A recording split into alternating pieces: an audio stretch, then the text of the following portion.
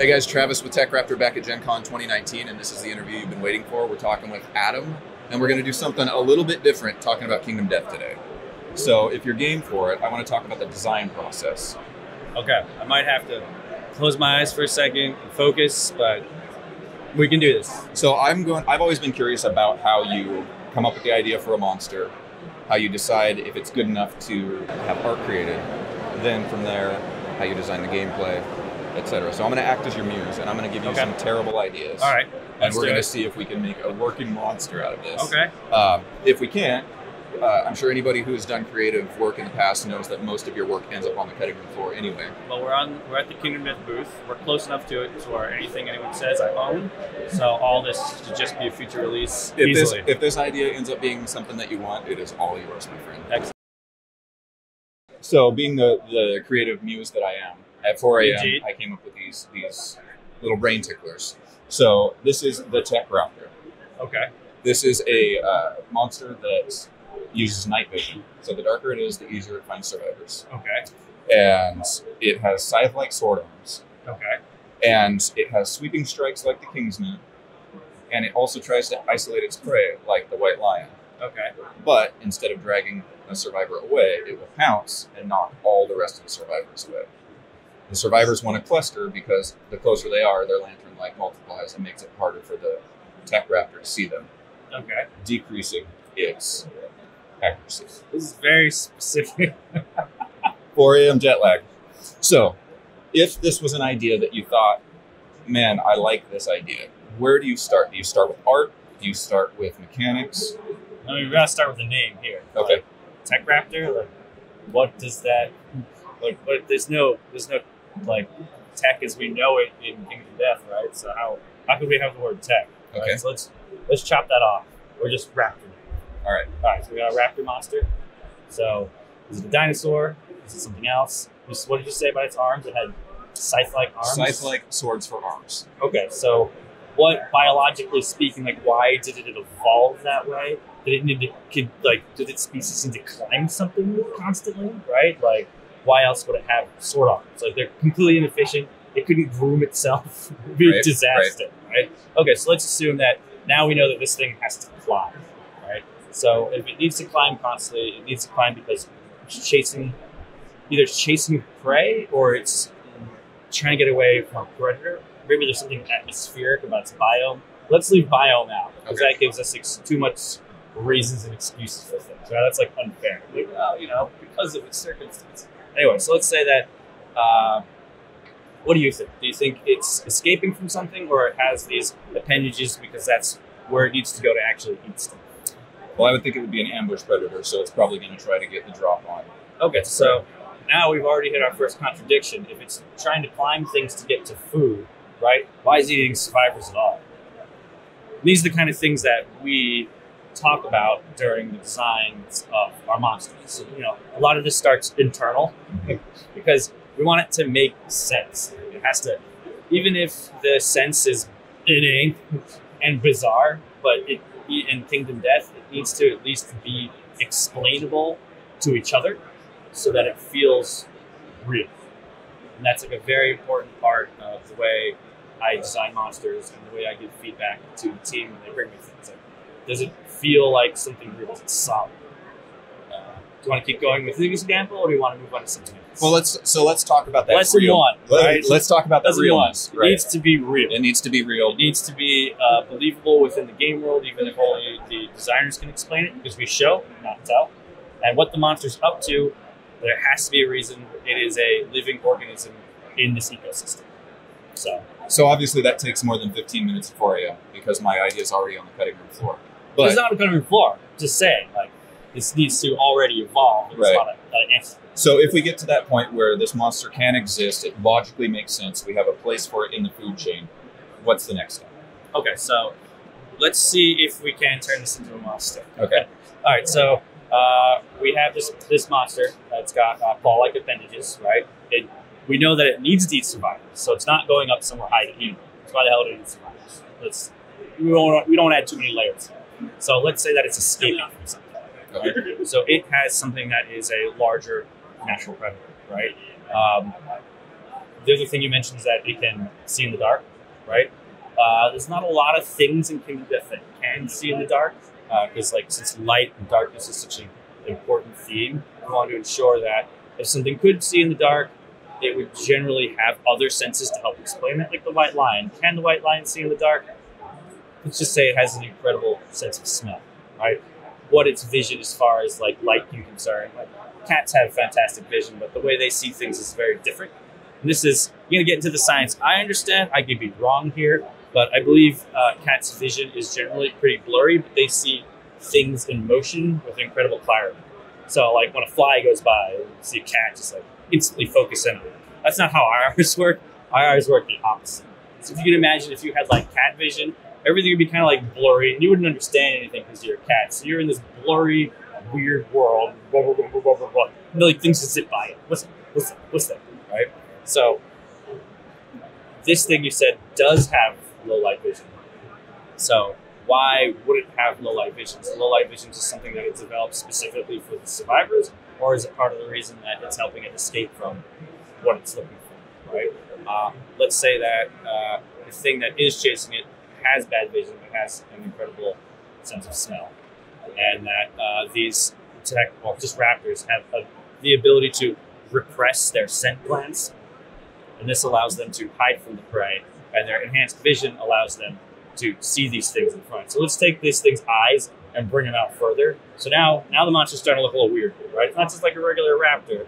It's got these long appendages that it uses for escape, but it's good for killing smaller prey, and it has eyes that are wider on the side of its head, so it can see whatever it's looking for, right? Okay. So what's what's the next step? What's the next thing you want to know that we can try to turn this into the monster? So um, it uh, prefers to isolate its prey. It's more of a hit and run Yep. Okay. predator, and so we've established the run. Yep. So I guess we would need to establish the hit and its preferred method of hitting. Right. I mean, that's in Kingdom Death is easy. Since it's a monster, it's already more powerful than survivors. Sometimes smarter. That's it. Whatever. It's got claw arms. Its teeth could probably chew through them. Uh, let's instead talk about not just how it kills things, but how it digests things. Okay. Do you see this thing digesting survivors in any different or particular way? Like, what part of the survivors is it actually after? I would think that it would be going after their heads. Okay, their heads. I mean, the heads have uh, brains inside of it. Uh, brains have a lot of uh, electricity compared to other organs. Like we already kind of did that with the Watcher, so that this idea is already on the cutting room floor. It's not going to be an electricity that's going. to So what else about the heads is it after? We already have bone eaters and stuff who are obsessed with heads. Um, Could it be after the eyes to keep with the vision thing? I mean, that's like thematically linked, but not scientifically not linked, right? It's just like it eats eyes, therefore it has better vision. What? right? Again, doesn't doesn't make sense. How about the mineral rich liver? mineral rich liver? Okay, so all right, so I guess it happenstance of suppressing your scent organs, right? Uh, maybe that makes it so that the blood in these things' bodies filters at a much crazier rate. So this liver is, I don't know, uh, if it's going super fast, it's like a, a performance liver, right? And uh, part of the thing it needs to do is ingest uh, other creatures' livers so that on a molecular level it can repair the damage to its own liver that the fluctuation of its blood when it's suppressing its scent glands meet. Like I know this is not completely making sense, but we're, we're on tangent, right? And this is how these things kind of go as we start to connect things and have more of a story biologically of what this monster's about. So it's after their livers. Great. Which means that its weapons are pretty perfect for it because it can bisect them quickly and get to it. I guess, uh, should we give it a really long tongue so that it can like get to it? Because otherwise, right now, it's not going to be able to pick up a liver This is true. right? it's just like chopsticks. Or we could go the other route and decide that it does have that sort of uh, of, like dexterity to do that, right? Is it creepier if this thing has a long tongue and can get to your liver after chopping you in half, or that it's so proficient with these things that it can dissect you and pick them up and toss it into the air and eat it no problem, right? And if it's proficient with that, then we head to the next sort of like design element of Kingdom Death, which is monsters are generally smart, right? And it's hard to depict something that's smarter than you in a game, so we have to do that generally in like the things you find when you're hunting it, or the things that are in the events. And uh, we could say that these things are quite fussy, and maybe part of the way that they help uh, stay away from the predators that are attracting it, and make sure that they've like marked off their territory is using their long appendages to like rework some of the stone faces and make little like art projects for themselves because they're so good with it, right? So now they're leaving like like uh, faces with different expressions to purposely mark uh, their own territory so they know where they've been and where it's most likely that their predators are coming for, which they can see easily with their superior eyes. And now we don't have no reason to give it a long tongue because it's so good with its long uh, you know, sword arm. Go go gadget arms. Right. So going back to the creature's name, uh, typically we sort of add an additional word to it. You know, this is not like on purpose; it just sort of seems to be what we do. White Lion, Oblivion mosquito, nightmare ram. So, what is a good adjective that can help describe this thing? Right. Right now we've got fussy raptor. Not quite. not quite. quite strike fear in Strike, yeah, fear in our heart. So what, what, are, what are we going for? No, we can't have tech. Uh, but is there something, you know, around in the word related to tech uh, or in that hemisphere that we could repurpose next to Raptor to kind of like give it something that tells a little bit about it? Is there anything you can think? I'm not leaving this as like a, I have the answer. Right. I'm just wondering if you can think of anything. It's brainstorming, right? What do you got, guys? Get out the thesaurus. I got nothing. Oh, we're, we're interviewing right now. I wouldn't say curious raptor because it's not powerful enough. Right. Uh, I wouldn't say investigation raptor because that also doesn't quite do it. Uh, what is related to investigation that has a more powerful connotation to it? Um, can't say like sex crime raptor. That would No. be an instant no no. We go right into special victims unit, right? Uh, Detective Raptor, I feel like you need a fedora, so that's out. yeah, I already made the Pikachu movie. That was adorable. and we can't compete with that. That's okay. Uh, what do we got? I mean, you can go down the road of just like general nightmare things. Mhm. Now that we have the Nightmare Ram, we can't call it the Nightmare Raptor. It's too easy. You know, the Oblivion mosquito was originally the Nightmare mosquito. Oh, I was like, we can't. Oh, everything will just be Nightmare. Won't work. Uh, it's proficient with its things as Surgical. Blade Raptor, Surgical Raptor, Surgical Raptor. All right. So what? What else is going on with surgeons? Scalpels. Scalpel Raptor. And raptors too. Like there's such a connotation for Jurassic Park, Right. turning doorknobs and stuff. You can go generic and be like awakened raptor. That's like one of those words that you see thrown out in like fantasy all the time. Um, And so obviously, just I mean, we're, we're we currently hit a stumbling block and just naming the thing. yes, So raptors is tough. It is Right. right. So we have a solid idea. If we did have a name, what's the next steps? Are we still trying to fit it into our world? Are we uh, trying to figure out how it looks different than? What's that pink rock called? Rose quartz. Hmm. Let's say it's made out of quartz. Okay. So quartz raptor. Right? Fucking weird. Yeah. Jagged edges, Oh, you have green, right? It's the jade raptor. jade raptor. There you go. So we have the jade raptor. We know how it marks its territory. We know where it fits in the food chain. Yeah. We know maybe why it's eating survivors. Yeah, lots of livers. Yep. And we know that it can do something that most monsters in Kingdom Death cannot. Yep. Uh, do we need to figure out what eats it? Is that going to determine what level Not of horror? necessarily. I mean, Okay. at this point, we have enough to be like, let's start talking to artists about it. Okay. Um, I, unless I have a very specific vision, well, sometimes I used to always have a specific vision. A lot of those like dreams have been fulfilled at this point. I really wanted to do a daddy long legs monster. Those creep me out. Regular spider doesn't creep me out. Something about like a little ball legs coming out. No, no, didn't like.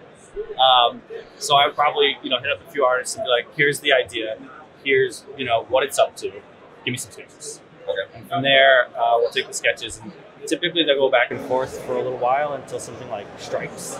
Um, So let's back up for a quick second. Yeah. Let's try to define a little while sure. because A little while to me is you know 15 minutes to three days. Yeah. Where I'm sure a little while in monster design can be months. Atlas had 20 revisions Okay. just in the concept drawing area. And that was the most that anything went through. And so even um, even an artist that is rapid fire getting you sketches back, it's going to take time to get you 20 revisions, right?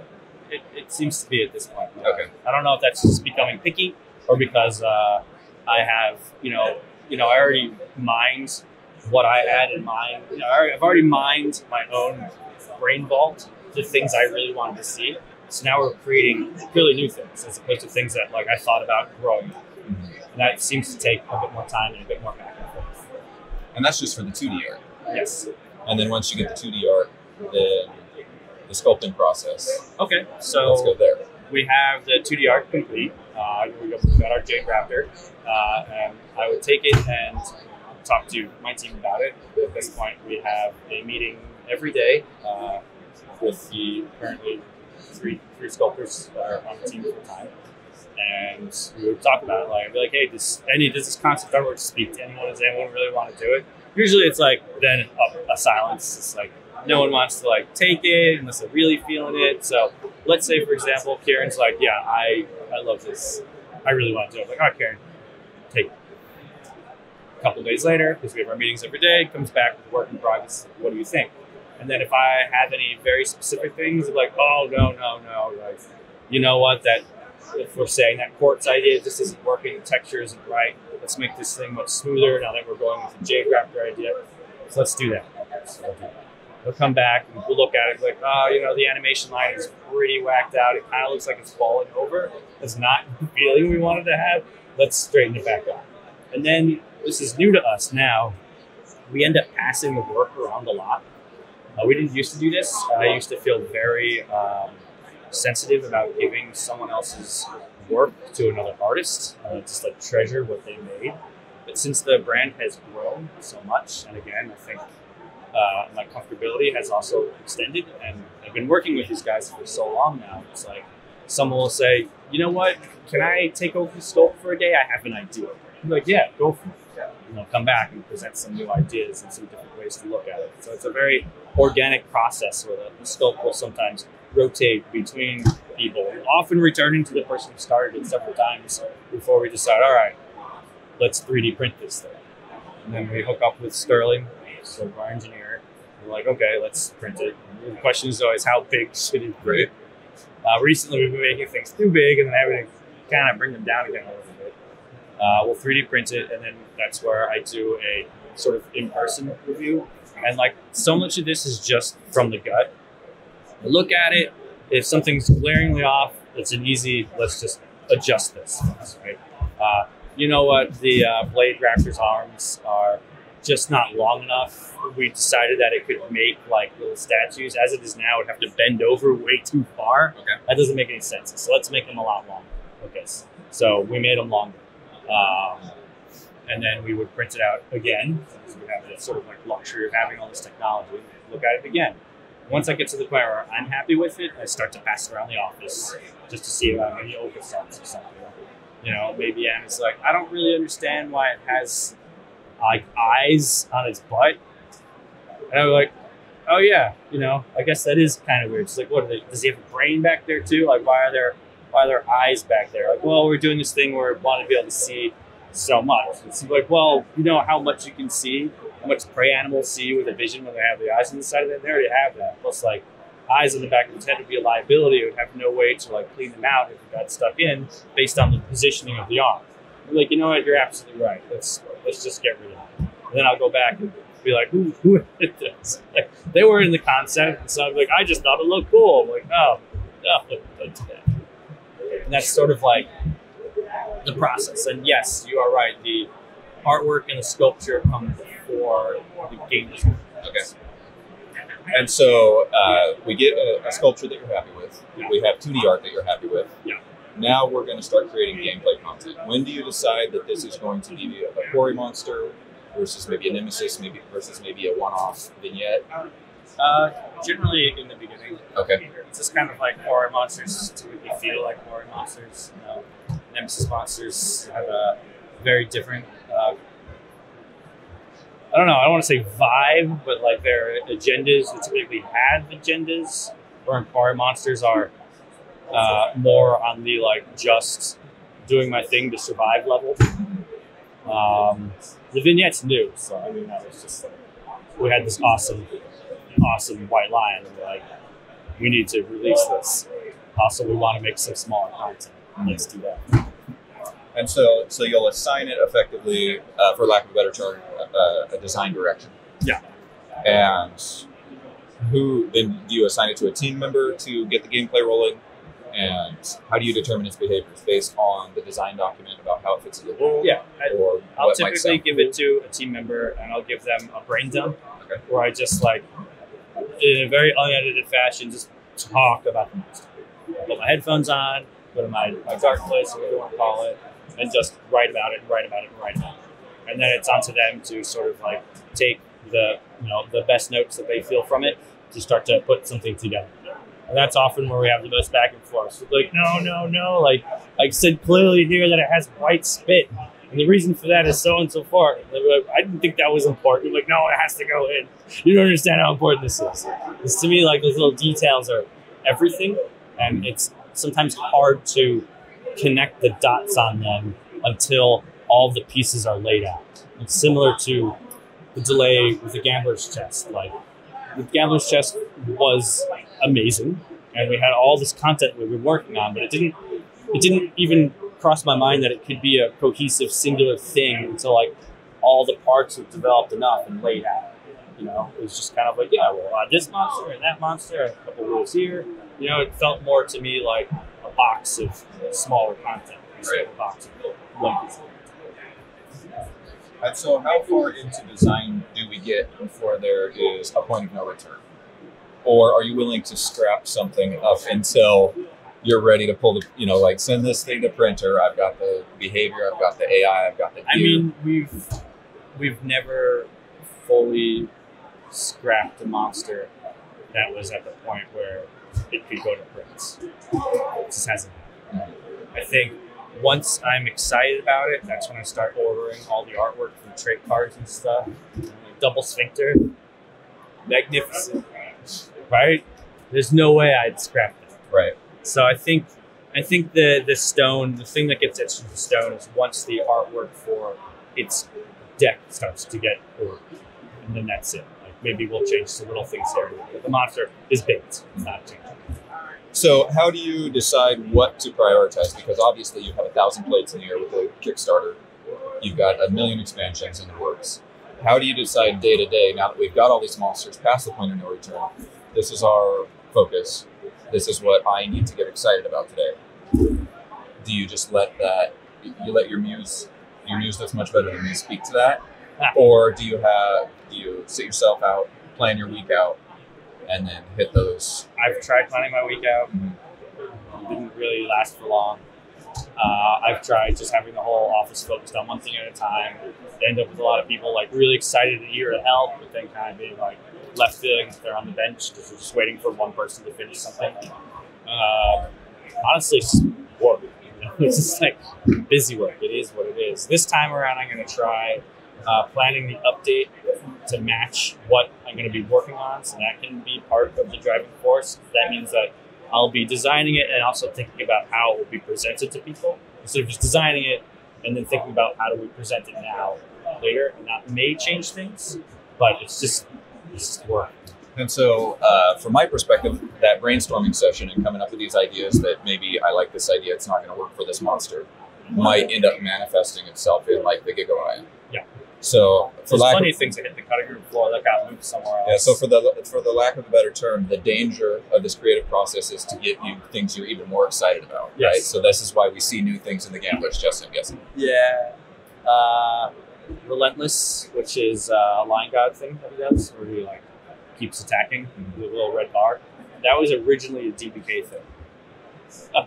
you imagine DBK, you know, uh, has his ball, it has everything else that's going on, and in addition, Relentless. So I remember at that point the team was like, "This is a wonderful mechanic, Adam. Let's move it somewhere else." Like, it's too much happening. I was like, "No, it's, it's perfect here." Like, no, no, no please listen to reason. I like, okay. Fair So, enough. so uh, for the monsters, say for the most recent Kickstarter, Yeah. uh, you you kind of had a plan for each of those, obviously, Yeah, because you, from the pitch. you presented them as part of the pitch or stretch goals, Yep. etc. Where is the end game for Monster? Right, because I know Kingdom Death and Kingdom Death Monster are kind of ubiquitous now. Yeah. and there's going to be a metric f ton of content once it delivers. Yes. Is there an end game where you're going to say Monster, my baby, is where I want it, or are we going to continue to see this, or is it just too early to? Uh, I definitely want to see the wave three through. I definitely want to see wave four through. Uh, and then I absolutely want to see the stuff I want to do with the Ringtail Fox expansion. Um, and then I have one more thing I can't talk about because it's too early. Well, I guess I could say it's related to a resin release we made a while ago, which is the Aries Knight Okay. recall. Um, and then I want to finally bring the scribe into the game world, like officially. That's that's as far as I have it.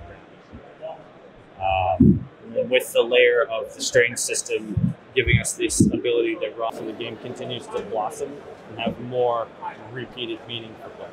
That's something I'm, I'm pretty excited about. So getting that system so it felt right was super important to me.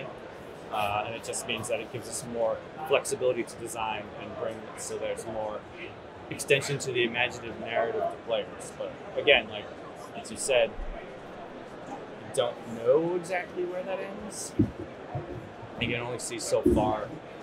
Only see so far into the Right. But you haven't run out of gas yet, so Oh, yeah. it's looking good. So let's switch gears really quick. Speaking of strain and maybe philosophies, so 1.5 seemed to, from 1.3, try to take the emphasis off of individual survivors, where the philosophy system, correct me if I'm wrong, maybe seems like it tries to put the emphasis back on some individual survivors. How do those two ideas coexist, or am I just misreading it? Uh, so emphasis on survivors is always there. It was more like comfortability Okay. and role within the community so that these resources known to us as the survivors, people are okay with sunset. Right? That's kind of like where we are now, where people have their character, they love it, it's super important to them. With the philosophy system, you can only rank up a maximum of five times. And that's it. So you have all this exciting stuff happens, then it stops. And you know the, the idea there is like if you want to go deeper into the system, you kind of have to like pass the baton. Someone else needs to come. Like they've run out of juice, so to speak. So we have more of a natural kind of comfortability with seeing the survivors as members of this community you're building instead of as just your exclusive character. Do you have anything else you want to touch on? I'm going to nerf the antelope's payouts. We made it too good. You did. It's I'm tired. I'm tired of all the playtest data. Right. What do you guys find today? Oh, Antelope. Yeah. no, no more of this. When? Where? It's gonna be Where's- the Nerfalope. Where's the Nerfalope coming in? When Don't know exactly yet, but it's, it's as soon as I can make it happen. Okay. Nerfalope coming soon to Kingdom Death near you. Nerfalope and Nucalope, apparently. Excellent. I appreciate your time.